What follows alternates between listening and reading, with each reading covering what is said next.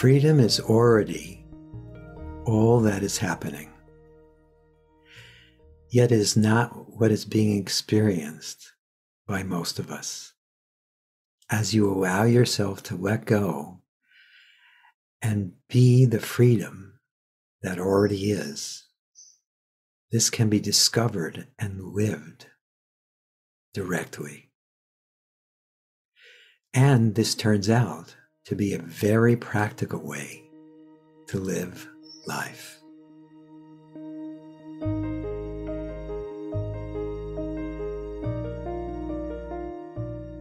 Welcome to Letting Go and the Greatest Secret, where we explore the end of your suffering and the beginning of lasting happiness. I'm Hale Dwoskin. Normally, a featured guest joins me for a conversation to share insights into living a life of deep joy and unshakable peace. Every now and then it's just you and me, and today is one of those episodes.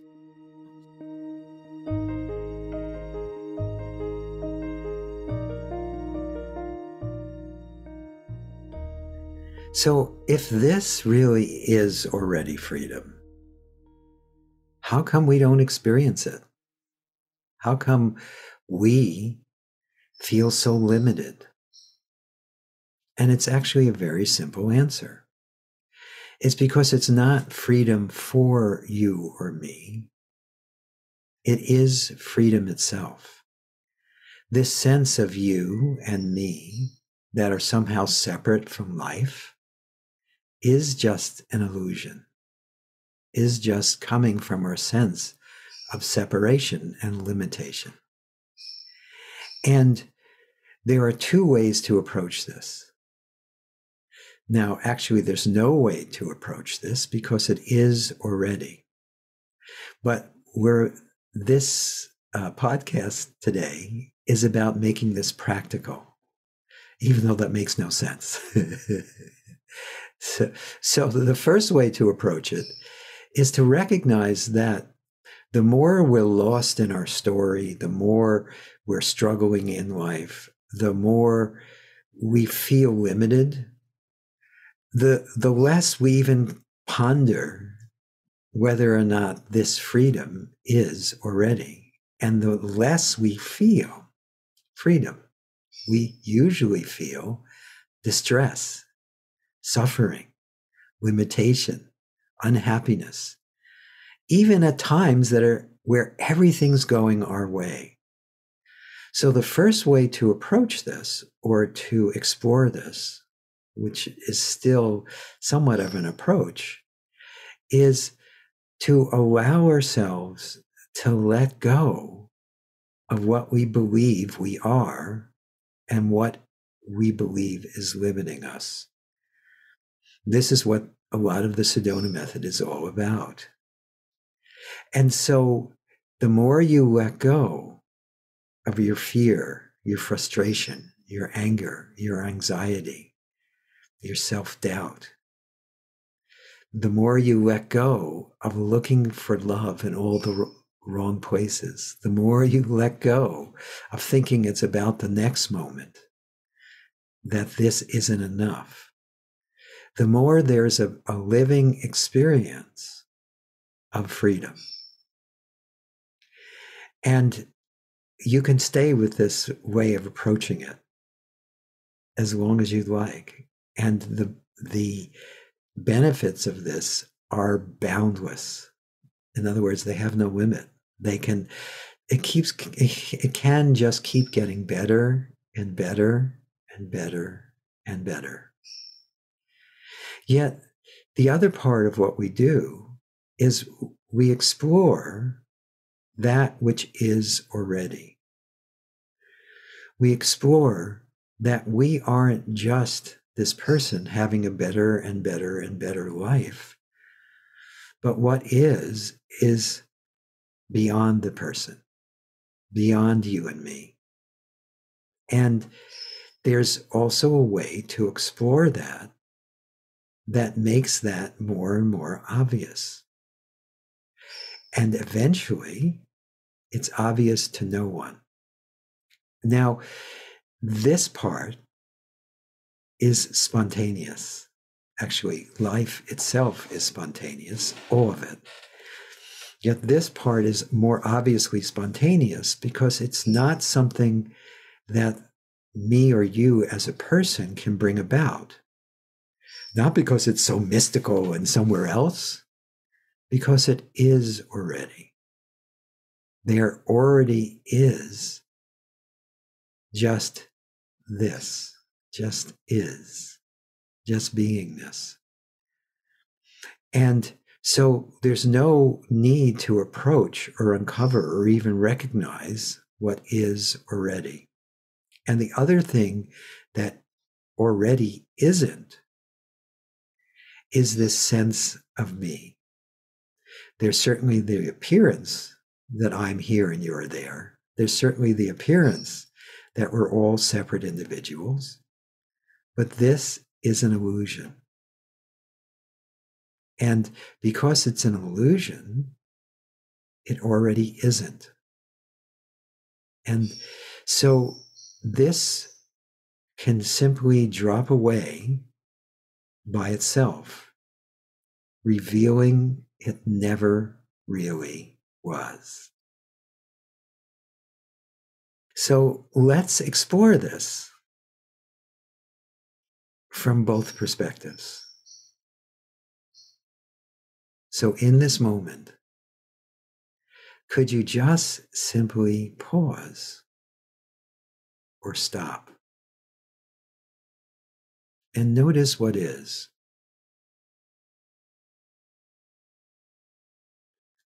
Recognize as best you can that this is already freedom,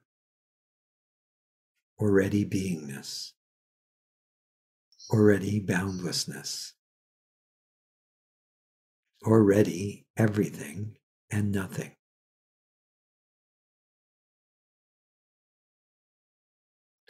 Now, this may not be obvious at first. And part of the reason it's not obvious is because there's most of us are experiencing either in the foreground or in the background this sense of this isn't it. It's somewhere else. I need to get to this that already is. I need to uncover it. I need to free myself in order to, to become this. But even just in life, moment to moment, even though there are no moments in life, we're experiencing this sense that this is not enough I need more. Or it's going to happen soon or later. Or there's somewhere to go and something to do. So, in this moment, could you just simply welcome any sense that this isn't it? I need more. The sense of becoming, the sense of going somewhere. Is it allowed or welcomed? Is it what's apparently happening?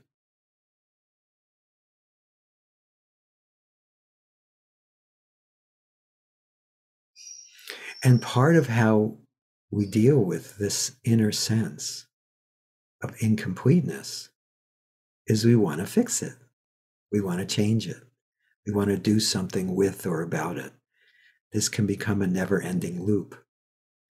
So, could you just welcome any sense of wanting to fix this, change this, do something with or about it, including add to it or take anything away?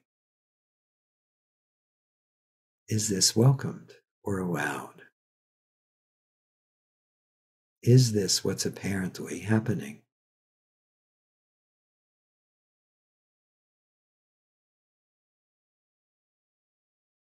And at the core of all this sense of limitation is just simply the sense of me, the sense that I'm here and you're there, the sense that I'm a person separate from other people. So could you just welcome that? That sense of I, me, or mine. Could you just allow that as best you can? Is it welcomed? Is it allowed? Is that what's apparently happening?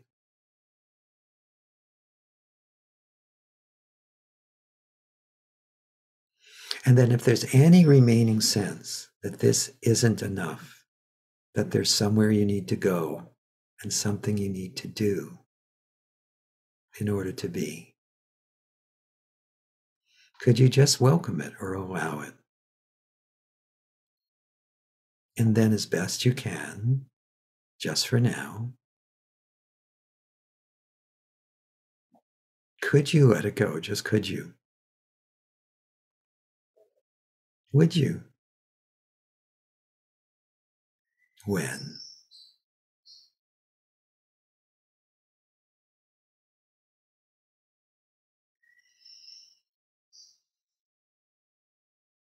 And then could you be open at least to the possibility that there's nowhere you need to go or nothing you need to go do? Because you already aren't. And this beingness or freedom already already is. What if this is already boundlessness? What if there is only beingness? Only unconditional love, only light, appearing as whatever's apparently happening.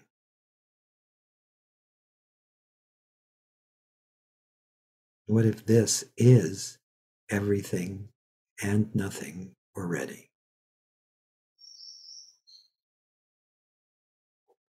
And then could you allow yourself to welcome any remaining sense that this isn't it? I have to go somewhere, do something. I need more goodness, more money, more love, more health, more, more, more. And any sense that this isn't okay, this needs to be fixed or changed. And could that just be allowed or welcomed? Could you just allow it?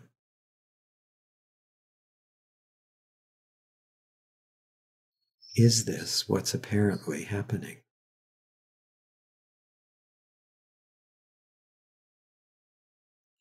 And we want to control our wanting to control. We want to fix our wanting to fix, which again keeps it looping. So, could you welcome any wanting approval, control, security, separation, or oneness? Any wanting to do anything with or about this? Including push it away or hold it close. Is it welcomed? Is it allowed? Is it what's apparently happening?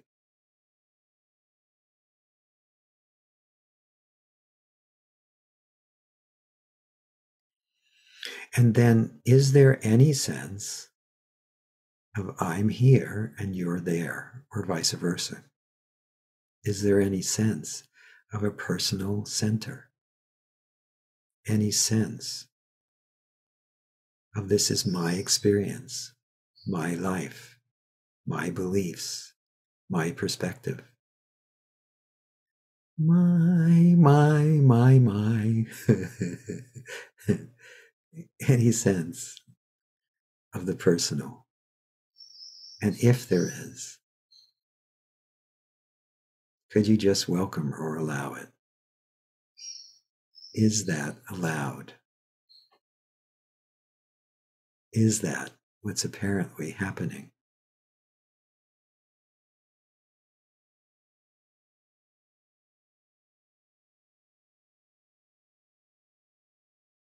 And if there's any remaining sense of more is better, this isn't it, leaning in or pulling away, any sense that there's somewhere to go, something to do, and someone to do it. And if there is, is that welcomed or allowed? Is that what's apparently happening?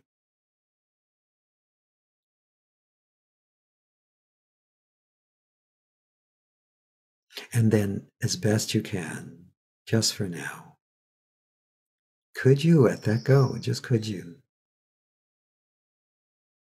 Would you? When? And then could you be open at least to the possibility that this is it already?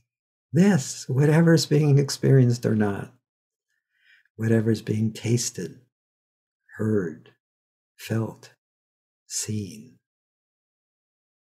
What if it's not being, none of that's being done by anyone? It's just what's apparently happening. And what if, just what if, this is already wholeness, completeness, boundless, unconditional love, freedom. And then again, could you allow yourself to see if there's any more striving, efforting, pushing or shoving, trying to get somewhere other than this that is, trying to add or take away. And if there is, Could you just welcome or allow it? Is this welcomed or allowed? Is this what's apparently happening?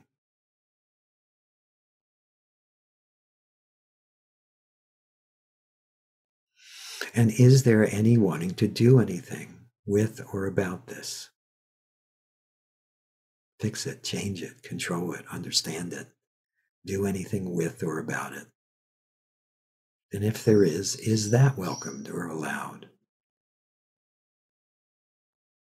Is that what's apparently happening?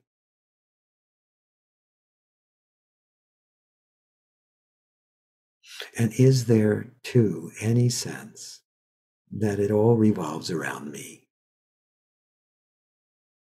It's my life, my world, my experience.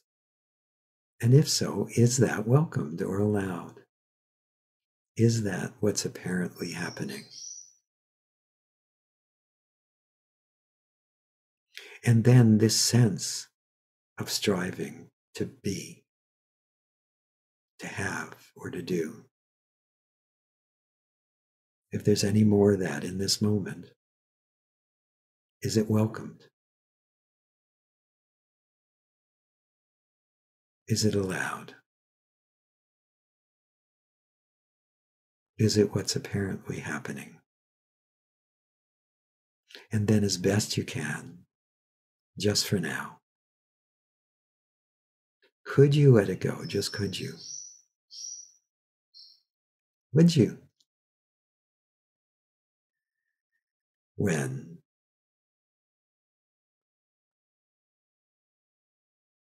And then could you just simply be open to what already is?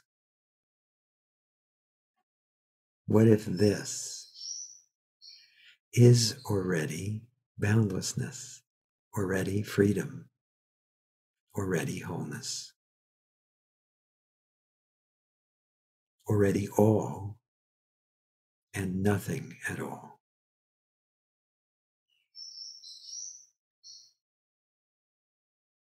And what if none of this has to do with a you? It just is, as it is. Okay, good. So this actually is quite practical. It doesn't just feel good. The less there's a sense of me, the more there's just this letting go of trying to be somewhere else, the more there's an appropriate response to what is as it is. Now, this is always what's happening, but it becomes more obvious more effortless, more natural, until there's no longer any sense of striving, efforting.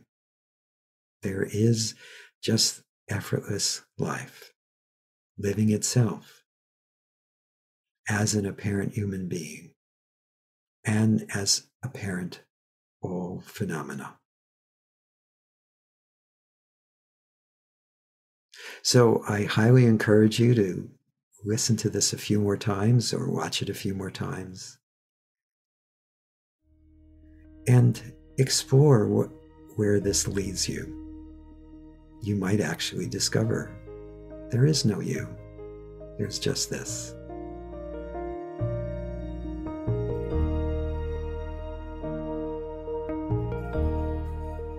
I hope you've enjoyed our time together. We'll do special ones like this every now and then. And of course, we'll be having plenty of featured guests to share their wisdom and insights with you. If you've enjoyed this podcast, please subscribe so you have immediate access to future episodes. Please give us a five star rating and share it with the people you care about. These episodes are dedicated to sharing the eternal teachings from the greatest secret and the power of letting go. If you'd like to learn more about my work, my mentors, Lester Levenson's work, and the Sedona Method, please visit www.sedona.com. As you explore our site, you'll learn the key to lasting happiness, success, peace, and emotional well being. We have books, courses, events, and plenty of free material to explore. Again, go to sedona.com. That's S E D O N A.com. Thank you for being here, and we'll catch you in the next episode of Letting Go and the Greatest Secret.